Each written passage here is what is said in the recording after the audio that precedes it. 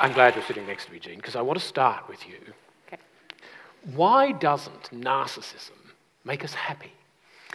Well, uh, it is a question of what happens in the short term versus what happens in the long term. Because in the short term, someone who's had narcissism, yeah, they're happy, they feel positive emotions. Um, it feels great to feel good about yourself. What happens in the long term is more problematic.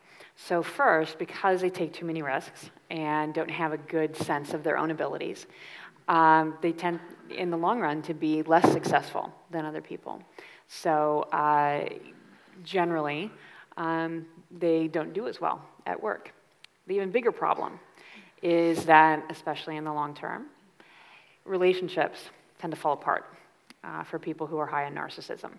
So they want to have relationships, um, and they go reasonably well at first. They're exciting, they're extroverted, they're confident. But then, because they don't actually care about the other person, that relationship tends to fall apart. So they're great in the U Butte stage when you've just met one another and you're full of hormones and excitement. Yes. But then the changing the baby's nappy stage, they're not as good at that. That's right, because that's beneath them. Um, and in general, it's very hard to keep a relationship going when one person thinks it's all about them and doesn't truly care about the, about the other. It's, it, it's different from materialism, but it's a bit like materialism, isn't it? Because materialism is about stuff, and we think, we think stuff will make us happy, but stuff turns out not to make us happy. That's right. Yeah, so people who are high in narcissism uh, tend to be more materialistic. It's, it's one of the, the correlations. So there's definitely some overlap there. So materialism is also captured by uh, what some people say, Tim Kasser, who studies materialism, um, calls um, uh, extrinsic values. So things like money, fame, and image. Hmm. And that's exactly what uh, narcissists care about. And the problem is, in the long run, even really in the short term, that's not a great recipe for mental health. Uh, the self and stuff is not uh, a good basis for mental health. You really need good relationships and meaning in life to have that. I know that's theoretically true. Part of me does wonder if a house on the harbour and, and a Jaguar XJ, if anyone's listening, might help. I do, I have to say. Hugh, what you've just been talking about is pretty much and I know it's the subject of the book, pretty much the opposite of narcissism. It's treating others as you'd like them to treat you. Mm. Does, doesn't that make us feel virtuous rather than happy? Uh, yes, it might make us feel virtuous, or it might make us feel impatient, frustrated, even angry with the people who are demanding our help. That's good. Uh, that means I've been doing it right. Uh, none of those things are relevant if you're interested in the idea of goodness. I mean, goodness is a moral concept. If you're going to enshrine goodness as the center of your life, if you're going to say, I actually want to lead a good life, then the question of how you're feeling. Um, I mean, it's why I have a problem with the name of the conference. If you, it depends how you define happiness. But if, if you're interested in how you're feeling, you've missed the whole point. Our, our role I'd almost go so far as to say our duty as social creatures, as people who rely on each other. I mean, we are sustained by communities. Look how we live cities, suburbs, towns, villages. There are isolates, there are hermits, but broadly speaking, we prefer to congregate. Um, we, we, we, cohabit. Uh, and, and these communities that sustain us don't just happen, and they don't necessarily survive. They themselves have to be nurtured. And so, if you're going to talk about our most fundamental duty as the social creatures we are, it is to nurture those communities. Now, that's all about responding to people's needs, it's all about being more cooperative than competitive, uh, etc. But if you do that, if you are a good person, you'll find it gives you something nourishing. You may and you may not. Um, I, Hang on, you've got to sell it better than this, Hugh. No. Uh, this, I think, is one of the one of the problems about the whole concept. That, that it's so tempting to say, and if you live like this, you'll feel like an angel. You know, you'll be a saint. Well, I, I was talking about this to a group of people recently, and uh, someone in the audience said, "Look, a friend of mine says he's got a cure for the blues." Whenever he's feeling a bit down, he just goes out and finds someone who needs help and helps them, and he feels better. Now, half of me thought, yeah, well, that's probably good. Those people got help. Half of me thought, this is appalling. This is stripping all the virtue out of it. I mean, this is like exploiting. There's a frail elderly person Yes. wanting to cross the road. I'll, I'll, I'll go and help her across the road because I'll feel better. I mean, the motive is just so off, so missing the point of what Especially if virtue she's is about. not wanting to go across the road. I've heard a, a, a blind lady say exactly that, Richard, that uh, she lives, lives in Albury, saying she's been assisted across several streets she never intended to cross. Roy, I want to, I If want to bring if you I in. could add something to this, I mean, what, what Hugh's brought up is one of the most profound uh, debates that's gone on in philosophy and psychology and others for, for, uh, for hundreds of years is, are people really good? Is there such a thing as altruism? Or are they really just being selfish and just doing things to make themselves feel better?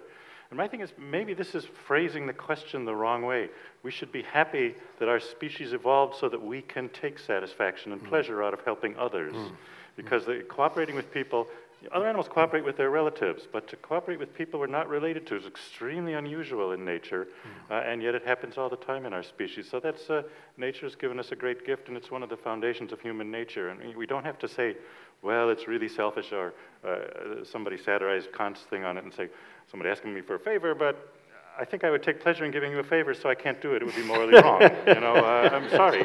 If I get to I don't like you, and so I don't want to help you, then I can help you. Um, Yes. I, I can, it, it's, just, it's just visible in my memory, but I can remember as a young person acting in a way that could be construed as altruistic in order to impress somebody else. well, yes, there's that too. Uh, it didn't work, as I recall. I wanted to ask you about something else because some of the stuff we've been talking about, and, and this idea that it's all about me and whether it makes you happy, that approach, it ga- it's gained obviously a lot of traction, all about me, in people. It, does that happen because the bling, the attention, all of that, they are uh, proxies or markers for high status? Oh, that question didn't go where I thought it was going. That's okay. Say that again. What I'm saying is, I don't know. So expensive holidays, lots of bling. Yes. I'm worth it. What does this have to do with helping others? Three hundred thousand. No, we've moved on. Three hundred. Okay. All right. So. Three hundred thousand dollar limousines named after big cats. They're all proxies for high status. Do you have an obsession with No, I do not. Richard? They're all proxies for high status, and I'm, and status is something that's kind of it's it's burned into our wiring in a way. Uh, yes, in, in nature, uh, lots of the primates and other mammals have status hierarchies, males more than females. But uh, yes, uh, you see, in nature, the, uh, the male who fought himself to the top of the group got to have sex with all the females, and the others didn't. So we're descended from the ones who wanted to and tried and succeeded at uh, fighting their way to the top. So yes, we have some of that too, and, and that's, that's natural. That's found all over the world, and it's not one of the most lovely parts of human nature. But No, it's not, and it's a double-edged sword, there. isn't it? Yes, but again, it's useful to society. Ambition uh, motivates people to work longer than they absolutely need to uh, keep food on the table. Having I think sorry, I just, can I just add Yeah, one yeah. little quick comment to that? I think this is an important point that we're not talking about some absurdly idealistic view. We are competitive as well as cooperative. We are self interested as well as altruistic. Uh, it's just that unless we're leashing the stuff that's rampant in us, uh, the other stuff might just wither away. Charity begins at home is one of my favourite proverbs. It's been massively misinterpreted through the 20th century, has nothing at all to do with looking after yourself and your own, has to do with early childhood intervention. That charity begins, the nurturing of our charitable impulse needs to begin in the home with children while they are young, or they may never learn to leash the other stuff.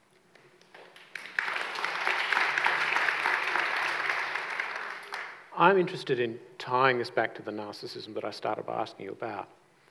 Because surely the, the social context that Hugh has just been talking about, and Roy, is, is vital in this. It's not enough to think that you're brilliant, that you're better than other people, the whole thing. if you live as a recluse and never see anybody else, it's got to be you and the majesty of you against humanity, doesn't it? Well, yes, because one of the uh, key parts of narcissism is attention seeking. So, yeah, it's not just someone saying, I'm awesome, it's, I am awesome, look at me right now, and, and appreciate that. They need that attention from others. And that it doesn't come from insecurity, it comes from uh, wanting this status and wanting this recognition of the status. But I think the difference is from, say, the, the primates is uh, with, the, with the primates, that one who fought to the top really fought to the top, he really won the fight. It's not just that he said, hey, I won the fight, um, even if he didn't actually win the fight. He didn't get a trophy just for showing up. No. I was thinking the double edged sword with, with the status thing is it's great to have the high status, but the constant working and hustling and showing off to maintain the high status, that could bring on a bit of worry and anxiety. Perhaps, and that I think is, is one of the reasons why, in the long term, narcissists do end up depressed and anxious uh, is because they've done all that hustling and then in the end they're still not happy. Actually, um, Roy, both you and Hugh talk about having a, I'm going to paraphrase you a bit, but having a meaningful life rather than a necessarily a happy life. What's a meaningful life? Um, do you want uh, an example, or you want a I do. definition? I'm a journalist. Uh, in terms of uh, differentiating happiness and meaning, um, if you want to look at a separate one, so if we look for a highly meaningful life that would not be happy, uh, I would think you know, someone like a terrorist, a revolutionary, possibly a missionary, uh, you know, someone who puts up with a lot of suffering and misfortune, works hard, doesn't get a lot of pleasures and joys, but in service of a cause that uh, he or she really believes in. You know, and again, the uh, terrorist, revolutionary, missionary, uh, that those are similar in other respects, but uh, they're all working for grand causes that they fervently believe in, uh, and you know, their day-to-day life uh, might not be very, very happy or satisfying, and you know, many of them end quite miserably. But you, you're an advocate for having a meaningful life. I don't know that I'm an advocate. Advocate? I, uh, I don't try to tell people how to live. I, uh, When I say that, I don't mean out. Is saying that people should be terrorists or missionaries. I'm saying when you ex- explain it, in, certainly in the, in the book, it, it does sound like it's something bigger and more coherent than having a happy life. Because a happy life is a, really a sort of series of happy presents, if I could put it that way. Happiness is an in the present thing. Meaningfulness is something that has a past and a present and a future. There's a story. Yes, uh, of our recent work is looking at the, how experience is spread out in time, and uh, um, happiness is really maximized, is really focused on the present. Uh, the more people think about the present and the less they think about the past and the future, the happier they are. Uh, with meaning, it tends to go the other way, that meaning is uh, linked into the past and future, and especially how they are tied together. Meaning's about connection. It's a, it's a non-physical kind of connection among things. And things draw meaning from contexts which are broader than they are. So for a life to have meaning, you have to find something bigger than the life uh, to have meaning for. That's another issue, I think, uh, implicit in what Jean was saying about how narcissists aren't really going to be happy. Well, uh, the self as a source of meaning likewise breaks down um, because when the self dies, then if that's what the meaning, the purpose of your life was to glorify the self, well, then it's gone. Uh, so if you devote your life, you know, the things I mentioned, the political and the, the religious things, things that religious, you've got eternity on your side, and politics, you've at least got future generations or two. So you're really uh, putting your life in the context of something bigger and grander and broader than your, your life. If we pull that into the domestic context, um, I'm a parent. I have a 14 year old, I have a nearly 11 year old. My children do not always make me happy, they often make me quite unhappy. I was telling you earlier about a particular incident with my son. However, it is a meaningful thing to be their dad. There's no question, and the data are supporting that too, uh, that uh, parenthood is a terrific source of meaning. Uh, as a source of happiness, it's uh, more dubious. Uh, uh, Yes. people But started there's, finding there's new data on that too, 50s. and new analyses. So Sonja Lyubomirsky's looked at that and um, basically concluded that, you know, the idea that parents are unhappy all of the time seems to have been somewhat overblown. That it depends a little bit on what type of parent you are. If you're a single parent, I that's saw really this new tough. data, and again, she's going against about 40 other studies uh, over things. But it is possible, and I, I think of you are going to see that, that it's because parenthood has changed. That uh, parents a generation ago thought they needed to do the right thing for society, and it was a duty. So that would have lowered happiness. Uh, it's gotten meaning. Now parents look at children as they're supposed to make the parent fulfilled. Uh, and so they may parent in a way that really won't be as good for the kid in the long run, but it'll make the parent happier. Uh, and uh, so maybe the negative impact on happiness is possibly mitigated by the more narcissistic parenting style. Uh, It's possible. I, I knew I was doing something wrong. Um, that offers me something, I, not, not necessarily anything good. There is, uh, there is some research suggesting, I think it's Daniel Gilbert at, at Harvard, uh, saying he found that parent, parents described themselves as being at their happiest when they were not with their kids, uh, when, when they were out having dinner together or at a movie or playing golf. But to come back to the conversation you and Roy have just been having, but they felt that the richest source of meaning in their lives was related to their parenting. And if you're not a parent, you can get the same idea from work. I mean, there are people, presumably, uh, you may know some, I don't, but there presumably are some people who skip to work on Monday morning whistling merry tunes about the joys of the workplace and their cup overflowing with happiness at the prospect of their colleagues. Uh, this is not most people. No. Um, most people don't think about work as a source of happiness, but almost everyone in paid or unpaid work thinks of that as a source of meaningfulness in their lives. Well, I work at the ABC, so. So it's both. Jean, I know you are very concerned, very concerned about young people with the it's all about me thing.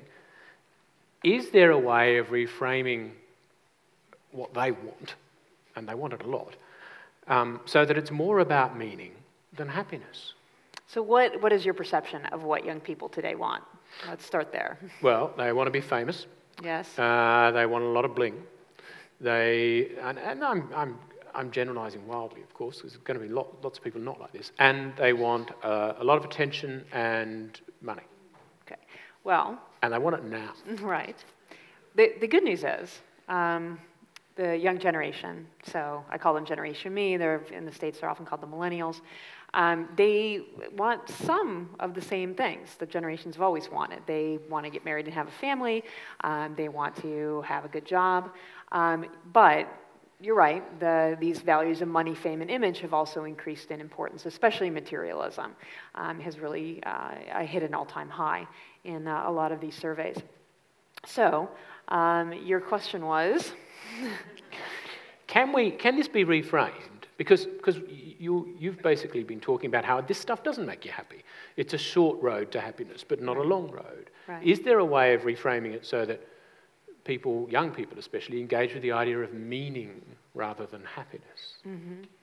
Um, perhaps. It is difficult because I think there is an assumption um, among this generation that those things, money, fame, and image, is going to make them happy and is going to provide meaning. Uh, so I think we have to get the message out, as we're doing here, that these things are not actually the best road to happiness, that there are other more productive ways to be happy and have meaning in life. It's, that's easier to get your head round when you're older than 30 than it is when you're younger than 18, isn't it? It may be, but you know, the baby boomers. So I'm, I'm a Gen Xer, so in theory, I should really not like the, the baby boomers. But when you really look at what they said when they were young, they talked about how much, I mean, they, in surveys, they said developing a meaningful philosophy of life was important. They said exploring meaning and purpose in life was important. And you know, it's happened to the, that, those responses in surveys, straight down for Gen X and, and the millennials. So we can maybe take a page out of their book that when they were 18 and 20, they were placing an importance on these things. And maybe it might be better if we got back there again. Hugh. It is also, just as a footnote to what Jean is saying, worth reminding ourselves that the term me generation was actually coined for the baby boomers. I mean, we've now acutely talked about Generation Me, but it was the parents of, uh, or a bit older, of Generation Me. Yeah, that their were the kids me took it, to the, took it to the next level. the next boomers level, yes. started it, but they kept it going. Yeah, that's true. I'm Yeah. wondering if I think you're being a bit rough on the rising generation, by the way, Richard. I mean, I think uh, as a, For the purposes of this discussion, but I, you know, My I nephews see and nieces are signs fantastic. Of, I see signs of a, a more cooperative, communitarian spirit in the under 30s than was true of their parents. I'm sorry. Yeah, okay. So we looked at this, and this isn't U.S. data, but we looked at this really carefully a few years ago because I thought that was possible. I thought there it was a possibility that you could get maybe more of the self-focus, more of the narcissism, as well as more civic engagement, more concern for others, either two populations or maybe they're finding um, attention through helping others. Not you so much again, civic engagement, but tribalism. Okay. Yes. Um, or just community feeling. And um, we got the best data we could from university students and uh, 12th graders. Um, data that goes back to the 1960s and 70s, so looking at people of the same age, but at these different points in time, different generations. And um, those born in the 80s and 90s were less interested in civic engagement in politics, less concerned for others, and so on. Quite to my disappointment, I had hoped we could have maybe both going on, but that's, that's not what they said about themselves in the surveys. but I'm wondering, Roy, if it's harder for them to be that way now um, because they are exposed to a lot more branding, and it's easier to kind of, when you're looking for what your identity is, to embrace those brands. They're sort of proxies for you. So, brands and celebrities. And the traditional media gives them this message, and social media backs it up. Uh, I always thought the idea of drawing meaning in your life from brands, that just always struck me as bizarre. Uh, but I guess people do it, they're do, proud. I mean, it seemed to me, you don't want to use your body as, an, as a billboard to advertise things, uh, you know, printing the names of all the products that you're wearing in big letters on there. But, uh, uh, you know, it seems like the company should pay me to wear a T-shirt that has their name on it. But, uh, but no, I guess a lot of people feel different. So uh, I, I hope, hope to understand that someday. I suppose that's what I'm wondering. Is it's harder now. I think the amount of branding thrown at young people is much more than it was when I was a young person, and it, it's easier to think that the way to be happy is to have the right T-shirt than it was when I was a kid. Uh, Just, uh, you mentioned social media, uh, and there are lots of things to be said about Facebook, etc., as platforms for bragging and encouragement to narcissism, etc. Also, though, an encouragement to connection, uh, to being constantly in touch with what the, the members of the tribe are up to.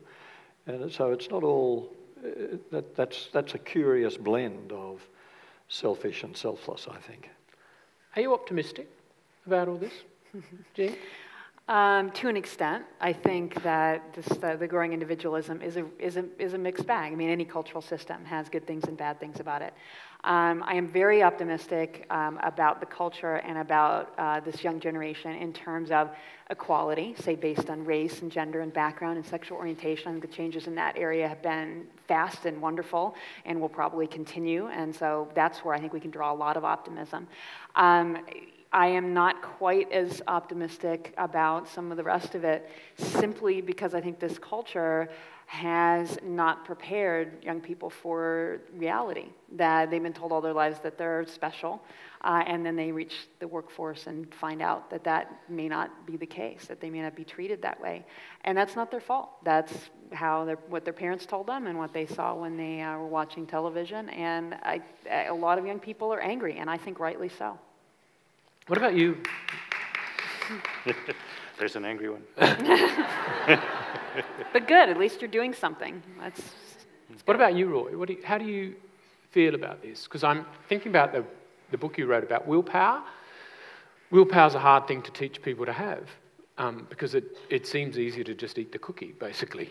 Um, are you, how, do, how do you feel about In terms of the optimism question, you know, if we look back in time, there have been lots of doomsayers and lots of optimists. And in general, the optimists have won. Life has uh, continued to get, I mean, there, there's always change. Change brings winners and losers. Uh, some changes are for the better and some for the worse. But the positive changes have largely outnumbered the negative ones. Life is certainly better now uh, than it was a hundred years ago. And uh, even if you go to things uh, like Cornelius Vanderbilt was the richest man in America, but he didn't have indoor plumbing, uh, he didn't have antibiotics, he didn't have television, radio, telephone. So uh, even the very moderate income people today have lots of wonderful things that he didn't. So I think just on that basis, uh, it's a great time to be alive, and uh, uh, more things will get better than worse. Mm. Mm. I'm wondering if there's something in the idea of becoming accidentally happy.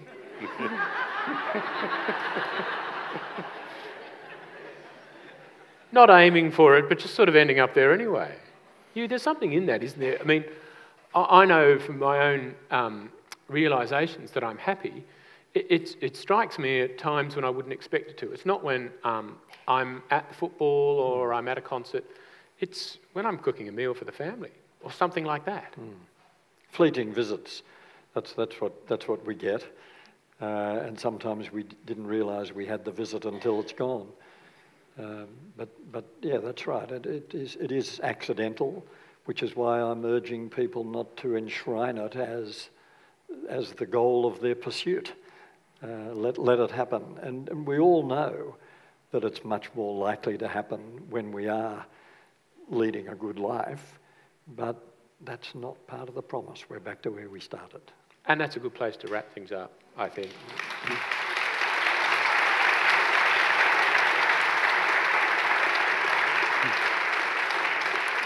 Louis Baumeister, Hugh Mackay, Jean Twenge. Thank you.